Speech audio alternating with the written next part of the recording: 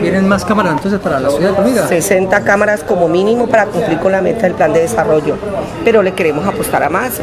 Ya depende del señor alcalde el análisis que haga del presupuesto que se tenga para que él apruebe las 60 o las que él manifieste eh, se van a comprar para este año. Pues tenemos dos años más para cumplir con esa meta, ¿no? ¿El presupuesto para las otras cámaras cuánto sería?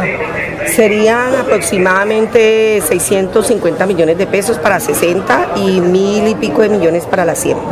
Ya el alcalde definirá de acuerdo al presupuesto que tenga a qué le vamos a apuntar este año. ¿Y esta inversión de estas cámaras que acaban de entregar, cuánto fue la inversión doctora de las fue, nosotros, nosotros entregamos 829 millones para las 66 cámaras y el gobierno nacional nos dio más de 3 mil millones de pesos y de las 30 cámaras costaron aproximadamente 380 millones de pesos. ¿También está garantizado el mantenimiento de estas cámaras de seguridad? Está garantizado por dos años el mantenimiento. Dos años está garantizado el mantenimiento de las cámaras.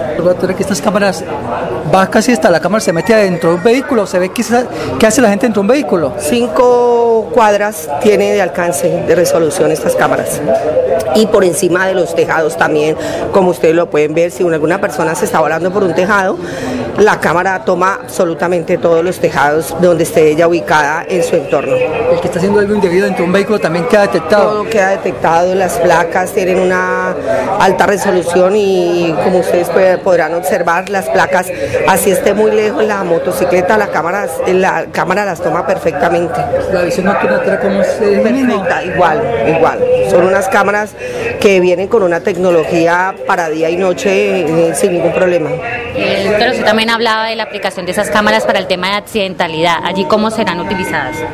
Bueno, para pruebas, porque usted sabe que dentro de un accidente pues eh, viene un proceso, si hay lesionados y ese sirve también para, para que el juez tome eh, nota de acerca de cómo fueron los hechos y quién tuvo la culpa. ¿También será para multas? ¿Para multas de distancia por alguien que se lleve pronto un semáforo y corro no pare o En este momento no están para multas, pero pues pueden ser utilizadas más adelante por la Secretaría de Tránsito, ya mirarán eh, qué otra tecnología usarán aprovechando estas, aprovechándose de estas cámaras y así puede ser, si, si, si fuere posible. ¿Cuánto es el alcance a nivel de barrios? ¿Cuántos barrios más o menos están cubiertos? Todos los barrios están cubiertos en Palmira, algunos más con más cámaras que otros, depende de la estadística que tengamos acerca de los delitos de cada uno de, cada uno de los barrios. Asimismo, eh, cada barrio, de acuerdo a la necesidad, lleva su número de cámaras.